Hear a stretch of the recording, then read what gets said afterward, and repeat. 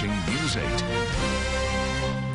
Well, I'm pleased to welcome Dresden Engle back to the show along with George DeMott. Great to have you both morning. here. Welcome. Thank you, Mark. Uh, it's called Vegas on the ROCs, emphasis on ROC Aren't on we- rocks. aren't we clever? Of course, it's behind us Very as witty. well. Yeah.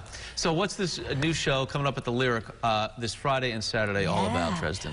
We are bringing Vegas to Rochester. George, Eastman grad, Penfield grad, has been away for a couple of decades, has performed in Vegas and all over the world, um, and he knows how to put a show on like this. I've been staying here and knowing that people want to be entertained and laugh. Yeah. So we know this is going to work. This model's going to work.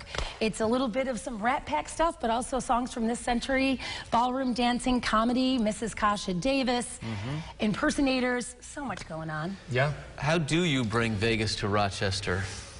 No Very pressure. carefully. no, you know, I think I think what it comes down to is just is the idea of of bringing variety, bringing bringing different things.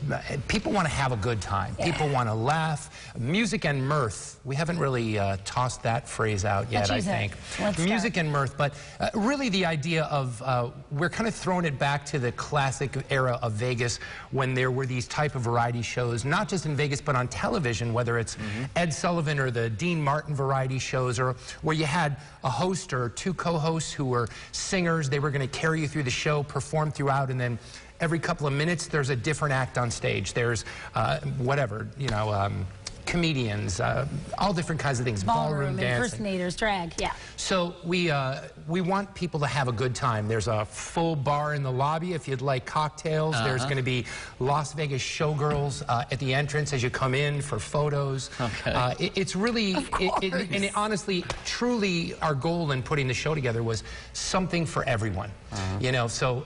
All different kind of music, everything from, uh, like we said, from opera to rock and roll, classic Broadway. Um, it's it's just, and we're going to have a great time. We got a four-piece band, live band on stage. Wow. So Ma- Marilyn's going to show up. Liza's going to show yeah, up. Snooki Pavarotti might even show up. Might We never show know.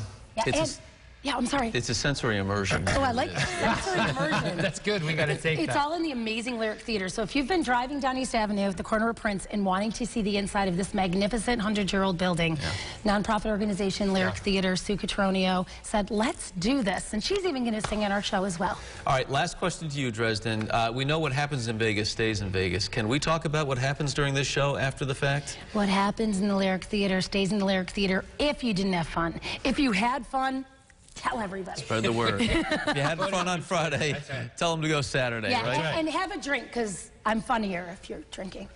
Most of us are that way. I think we're all good. The Yeah. more people drink, the more better we sound. Yeah. well, good luck with it. Vegas on the Thank ROCs. Thank you very much. Thank you so Fun much. concept. Uh, should be a great, great couple of nights. it's gonna We're looking good. forward to it. Your chance to get tickets and learn more. LyricTheaterRochester.org is the link, or you can get them at Wegmans as well. That information and more on our site at RochesterFirst.com.